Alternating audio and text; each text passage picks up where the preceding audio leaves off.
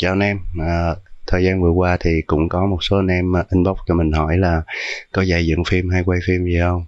À, ok mến thì đến với nhau thôi. Nếu bạn muốn học dựng phim thì hãy coi hết cái clip này để xem bạn có phù hợp hay không. Và nôm na là nghề dựng phim đi. Còn phim thì nó rất là nhiều thể loại phim ngắn phim dài phim à, điện giật phim tàng hình quảng cáo mv talk show, game show. Rất là nhiều. Mình gọi nôm na là dựng phim đi. Còn các ông học xong rồi dựng cái gì đó thì đó là chuyện của các ông. Nhưng mà cách dựng, cái thao tác nó như nhau hết. Cái gì cũng vậy. Nghề phim thì nó cũng không nằm ngoài ngoại lệ là có cái hay, cái dở và cái vải cái nồi. Vải nồi á. Vải nồi nhất là cái câu chuyện là bạn cứ thử coi một cái game show đi một cái thôi, bạn coi trong vòng 8 tiếng đồng hồ. Coi đi, coi lại, coi tới, coi lui, coi xuôi, coi ngược, coi đủ tư thế, đủ mọi địa hình, đủ mọi trạng thái hết. Bê tắc. Tôi cảm thấy bê tắc quá. Coi đi rồi sẽ biết được. Cái nghề này nó là cái gì? Cứ coi đi dựng xong một cái bản rác rồi thì ngồi mà coi coi tới, coi lui, sửa tới, sửa lui, sửa qua, sửa lại, sửa xuôi, sửa ngược, sửa mọi tư thế luôn. Còn cái hay của nghề này á, là biến ước mơ của bạn thành hiện thực á. Không tin hả? Thử cho coi nè. Thấy gì không? Thấy gì không? Thấy gì di chuyển không? Đó, không biết đoạn này chắc kinh có bị lỗi không? Nhảy lên, nhảy xuống nè nhảy là lỗi chắc luôn á, nhưng mà để từ từ từ về không lỗi đó. đó. Đó là cái hay á. Để mà đến được với nghề này thì chúng ta cần cái gì?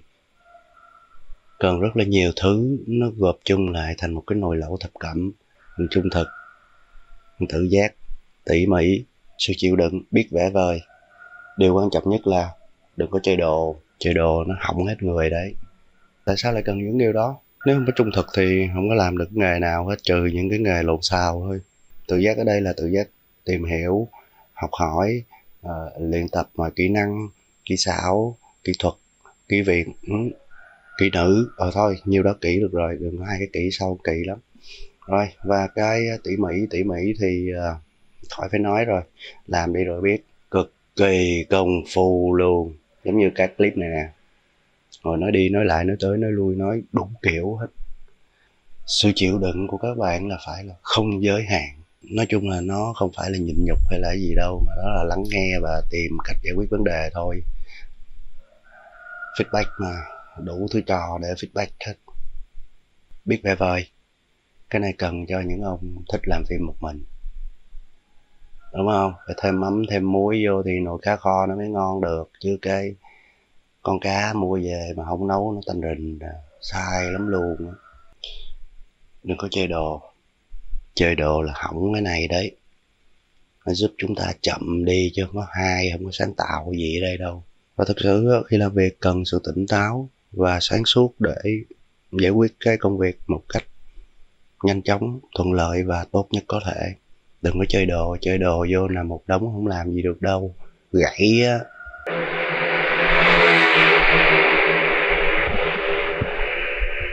ủa nó chạy gì đây chi vậy?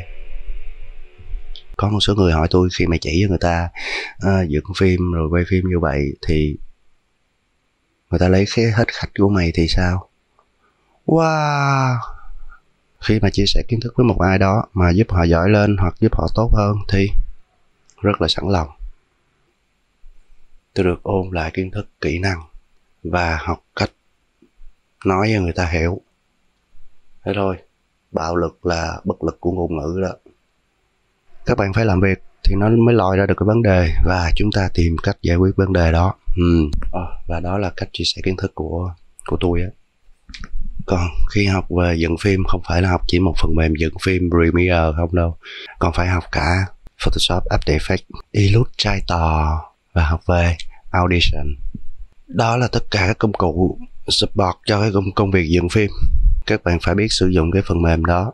Mặc dù ở trong Premiere nó tích hợp tất cả những cái thứ đó trong đó rồi mà cứ phải phần mềm support cơ để khi mà có những cái file có những cái file của Illustrator hay là những file của After Effects rồi những cái file của uh, Photoshop thì có thể sửa trên phần mềm đó được. Chứ học dựng phim không phải là một phần mềm dựng phim đâu. Nó một nùi phần mềm luôn á.